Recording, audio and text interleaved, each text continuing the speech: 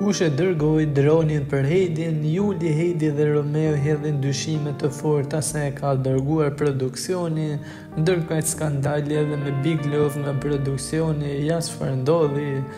Ditën e djeshme një parashut që fluturoi për disa minuta mbi shtëpinë e Big Brother VIP Trazoi ujërat, mesazhi ishte për Heidin të cilës i kërkohej të kishte më shumë kujdes nga Romeo pasi ai është falso. Kjo e mërziti së tepërmi aktorin ndërsa banorët e tjerë e akuzuan duke thënë se mesazhi vjen pikërisht pas gjestit të tij një natë më parë ku e la vetëm në suitë Heidin. Pasditen e djeshme teksa qëndronin në suitë bashkë me Rozën, Romeo dhe Heidi diskutuan Për personat që mund të qëndrojnë pas atij mesazhi, Heidi shprehet se në momentin që ka ardhur parashuta ajo ka qenë brenda, ndërsa vëllai i madh i ka kërkuar të shkojë në dhomën e surprizave e cila ndodhet në ambientet e jashtme të shtëpisë ku dhe ka parë parashutën.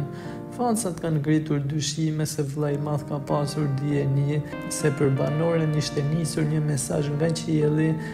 Teksa të njëjtën tezë e ka ngritur edhe Jul Deda në bisedë me Eglën në oborr, ai u shpreh se ka dyshime se parashuta mund të jetë dërguar nga produksioni, pasi çifti mund të ketë ndonjë mision të fshehtë për të vënë në lojë banorët e tjerë të shtëpisë. Nga ana tjetër, Meritoni pretendoi se parashuta me mesazh kundër Romeos, Mund të jetë paguar nga fansat e banorëve të tjerë në shtëpi në mënyrë që ai të demoralizohet, duke qenë se finalja është një muaj larg, aq më tepër kundër produksionit u dyshua edhe për shkak të vendndodhjes së dhomës së dytë të rrëfimeve pasi në shumicën dërrmuese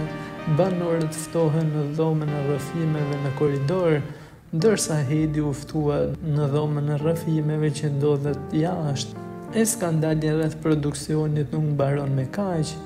Së fundmi, teksa është zhvilluar Big Love, ku banorët surprizohen me të vetmet kontakte që kanë me botën e jashtme me mesazhet që u vijnë nga miq, familjarë dhe fansa, një mesazh i një vajze po qarkullon në rrjet. Teksa pretendon se është fansa e Heidit, por pretendon se produksioni mesazhin ia ka dhënë Françeskës. Turp ky mesazh është dërguar nga ne për Heidi Bacin, por ju e shisni sikur është për Françeskën.